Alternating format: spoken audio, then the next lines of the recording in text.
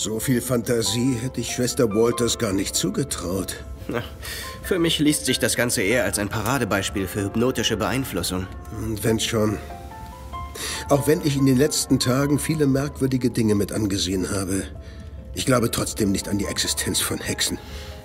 Da muss etwas anderes dahinter stecken. Etwas ganz anderes. Naja. Was soll das heißen, Braille?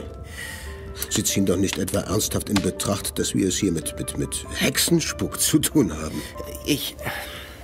Ich werde einfach das Gefühl nicht los, dass Madame Mandylip es auf die Seelen von all diesen Toten abgesehen hat. Die Seelen? Ja. Worauf denn sonst? Und was soll das sein?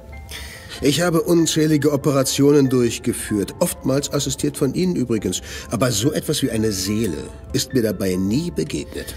Aber Sie... Wenn Madame Mandylip tatsächlich einer Seele habhaft geworden sein sollte, hoffe ich sehr, dass sie mich einen Blick darauf werfen lässt. Sie werden aber doch nicht leugnen, dass zumindest der Tod von Schwester Walters, Peters und der Anschlag auf Ricori auf das Zutun dieser Madame Mandylip zurückzuführen sein könnte. Könnte. Sehr richtig könnte.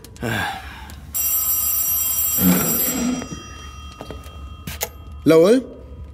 McCann? Haben Sie etwas herausgefunden? Äh, warten Sie, warten Sie, ich stelle Sie laut, dann kann Dr. Braille gleich alles mithören. So, kann losgehen. Danke. Also, Sie werden es nicht glauben.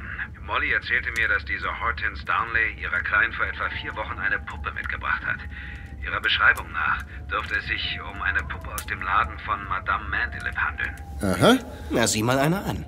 Die Darnley hat die Puppe umsonst bekommen, weil sie der Besitzerin des Ladens Modell gestanden hat. So. Hört, hört. Außerdem erinnerte sich Molly, dass ihre Freundin einen Verband an der Hand hatte. Hm. Auf Nachfrage sagte sie, dass sie sich in dem Puppenladen am Battery Park verletzt habe und dann von Madame Mandylip verarztet und verbunden worden sei. Das ist sowas. Da steckt also offenbar Methode dahinter. Ja, es hat ganz den Anschein. Denn Peters kam eine Woche später mit einer männlichen Puppe als Geschenk für Mollys Kleine vorbei. Mhm. Er wollte wohl der Kleinen gegenüber nicht hinten anstehen.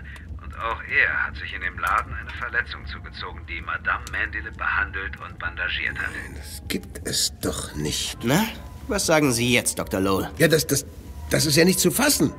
Ich fahre jetzt mal zum Battery Park rüber und schaue, wie meine Jungs mit der Beschattung dieser Mandylip-Weiber klarkommen. Ja, machen Sie das. Äh, gibt es etwas Neues vom Boss? Äh, nein.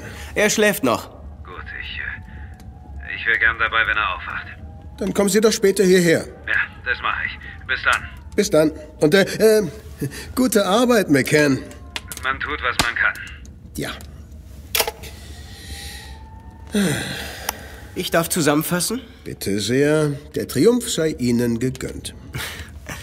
Die Darnley, Peters und Schwester Waters haben alle bei Madame Mandylip eine Puppe erstanden, für sie Modell gesessen und sich in dem Laden eine Verletzung zugezogen, die dort, vermutlich stets mit einer ominösen Salbe, behandelt wurde. Alle drei sind mittlerweile tot. Ich, ich muss zugeben, ich habe nicht die geringste Ahnung, was das zu bedeuten hat. Dann sind wir schon zwei. Entschuldigung. Sie sollten jetzt wohl besser ein paar Stunden schlafen. Nein, nein, nein, nein, nicht. Oh doch, ärztliche Anweisung. Es ist helllichter Tag. Und? Wer weiß, wie die nächste Nacht wird. Ja, vielleicht haben Sie recht. So ein kleines Nickerchen klärt außerdem den Geist. Ja, das ist auch dringend nötig. Und Sie, was machen Sie? Ich fahre nach Hause und mache dasselbe. Die Schwester hat Anweisung, uns anzurufen, sobald Ricori aufwacht. Gut. Na dann. Süße Träume. Ja, für Sie auch, Braille. Für Sie auch.